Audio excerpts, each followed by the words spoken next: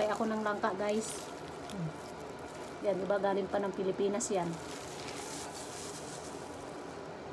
Dinala ko din sa Switzerland. Tingnan nyo.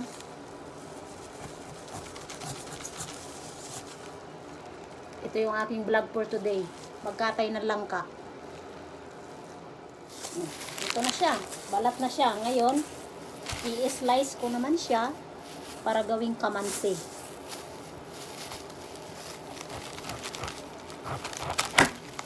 Diba? Ganyan ako magluto ng langka.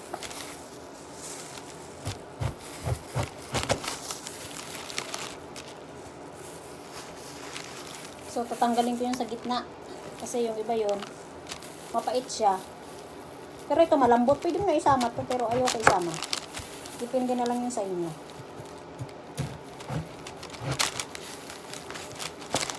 O, diba? Tapos tatanggalin ko yung gitna.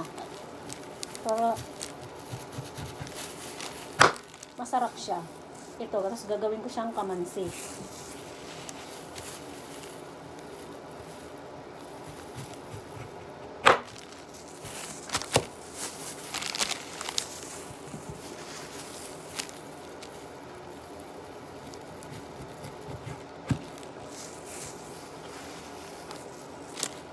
Langka ito guys ha. Hindi ito kamansi, langka. Galing pang Pilipinas to. Dinala ko pa dito sa Switzerland. Kasi yung mga nabibili ko dito, yung may preservative na nasa lata. Maganda to. Fresh.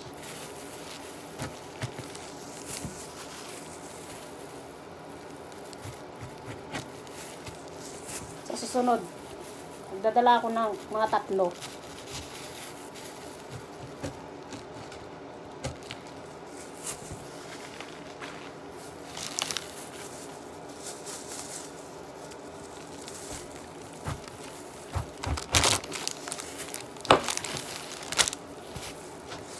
Nilalagyan ko to ng mantika, yung pang hiwa ko para hindi dumikit yung dagta ba niya.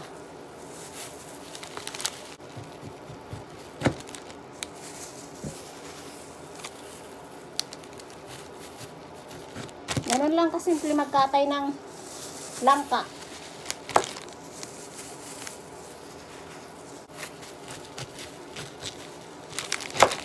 Ayan. Tapos na tayo magtanggal ng bukag. Ayan siya guys, ang bukag niya. Ayan. Ito na siya. Ngayon, gagawin ko naman siyang kamansi, hiwa-hiwain. Hiwa-hiwain ko na naman siya. O magpapalit muna tayo ng glove kasi masyado ma ano siya madikit na wait lang ba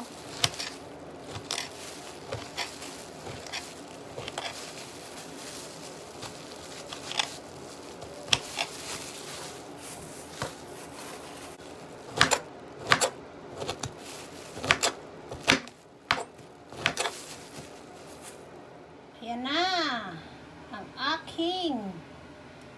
nakalupan. Ngayon, hugasan natin siya.